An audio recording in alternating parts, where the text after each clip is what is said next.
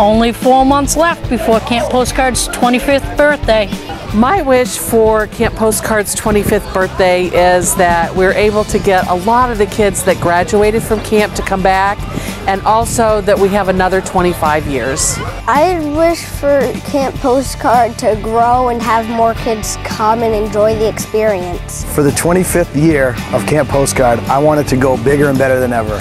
I want to break the 170 kid barrier and I want as many kids from all over the state of Maine to experience what we get to experience here.